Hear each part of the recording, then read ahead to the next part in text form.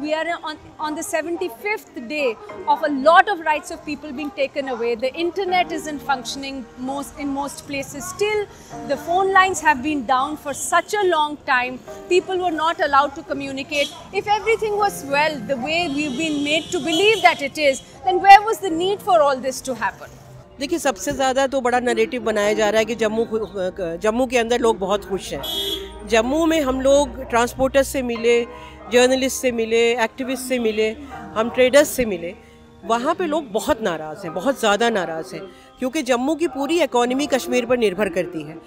पहले तकरीबन हज़ार ट्रक डेली जाता था श्रीनगर, आज की तारीख में सौ से कम जा रहा है।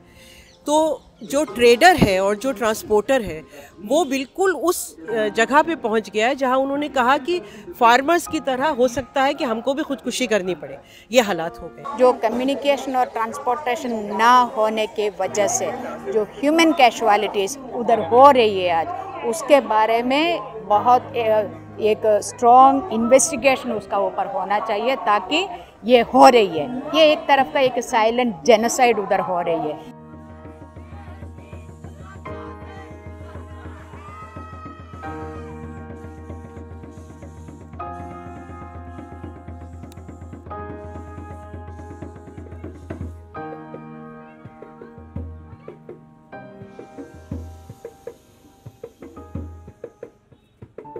Ninth of August, we were there uh, on Bakrid.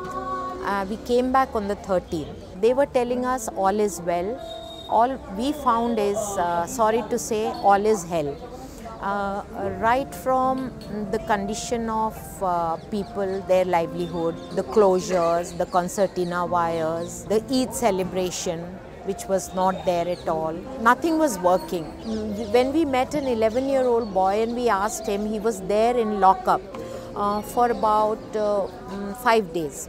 So we said, इतना छोटा बच्चा एंड ही सेड मुझसे भी छोटे बच्चे थे वहाँ स्कूल्स कैसे खुलेंगे अगर ट्रांसपोर्टेशन नहीं है अगर सिक्योरिटी नहीं है तो पेरेंट्स अपने बच्चों को भेजेंगे कैसे ना mothers are scared the moment there is a bell ring or somebody knocks on the door, a mother thinks that, oh, the army has come or the CRPF has come. So you can imagine the state of her mind. The manner in which this whole thing has been done is absolutely unconstitutional. It violates every single fundamental right that people have guaranteed under the Constitution of India and also that we have fought so hard for.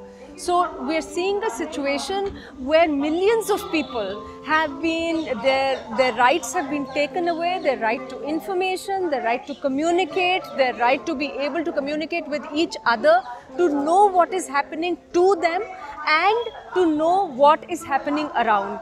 And I think that this is perhaps the darkest period in terms of violation of people's rights in our country. International media has never written so strongly about Kashmir and this is the first time that international media is not writing Jammu and Kashmir, it is writing Indian occupied territory or Indian administered Kashmir.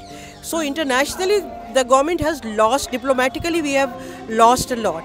The way in which all of this was done, completely surreptitiously, where suddenly one day bills were brought into parliament without people knowing anything about them, without any consultation with the people of Kashmir or with their representatives, and without any kind of deliberations even within parliament. I think it, it went against every principle of parliamentary democracy and it strikes at the heart of public trust and faith. What people then therefore need is evidence. They need to know what is happening on the ground to be able to make up their own minds.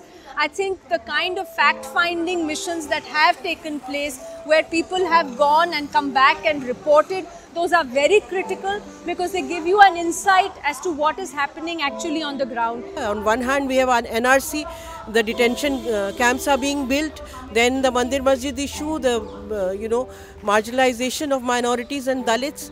It's an authoritarian government and it is attacking our democracy in a very very negative uh, way. तो ये फार्स जो हमारी सरकार कर रही है इस फार्स के बदले अगर वो इस एलिनेशन के बदले अगर वहाँ पर प्यार मोहब्बत से हालात को बेहतर बनाते तो शायद जिस चीज़ की वो शिकायत करते हैं, वो हालात कश्मीर में नहीं होते।